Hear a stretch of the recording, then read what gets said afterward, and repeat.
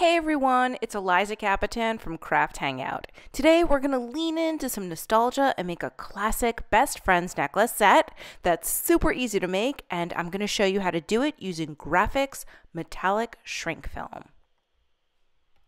For this project, I'll be using Grafix metallic shrink film. The pack comes with both gold and silver. I chose gold, but you could definitely use silver. A black fine point permanent marker. I'm using a Sharpie scissors, a quarter hole punch, two necklace chains to match your metallic color. Again, I'm using gold. Four jump rings to match your metallic color. Again, I'm using gold. Jewelry pliers. I'll also be using a cookie sheet that I solely use for craft purposes and not food, parchment paper, and access to my oven. Let's get started. I'm going to draw my design right onto the Grafix metallic shrink film with my Sharpie. You could definitely freehand right on there, but I chose to sketch my design out on a separate piece of paper and I'm tracing it. I did a broken heart design as well as a BFF tag. I'm tracing the BFF tag twice. Next, cut it all out with scissors.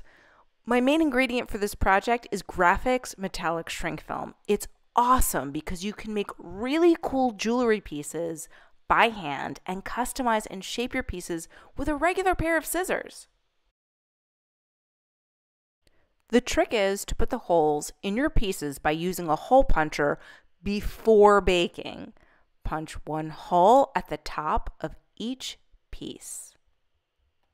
Line a craft cookie sheet with parchment paper and place your pieces on it cover with another piece of parchment paper. We're going to place these babies in the oven, which has been preheated to 350 degrees. After you heat the shrink film, it shrinks to about 20% of its original size, thickens up, and looks like metal pieces. It's so magical. I baked my shrink film pieces for two minutes and carefully took them out of the oven. Once they're cool, they're ready to use. I do an extra trick, which is totally optional, where I place a book right on top of the parchment paper while it's still hot and apply some pressure. This helps flatten the pieces. Here's what they look like all cooled off, and you can see how much they shrank when compared to the original sketches. The original heart design was around three and a quarter inches high. The tags were about one and three quarter inches high. Look how tiny they look. Next, take out the necklaces and jump rings. Each heart piece will get a jump ring and connect to a necklace chain like a pendant. Each BFF tag will get a jump ring and attach to the tail end of each chain as an accent. Use your jewelry pliers to twist open the jump ring. Attach your heart piece to the chain and hang it like a pendant, and then twist the jump ring closed. You'll use the same process on the BFF tag, but you'll attach it to the tail end of the chain as an accent situation. You'll do this for both necklaces in the set. This is another great feature of using Grafix shrink film. Not only am I able to make pendants, but I can also make cute details like adorable tags to add to jewelry. It is so rad.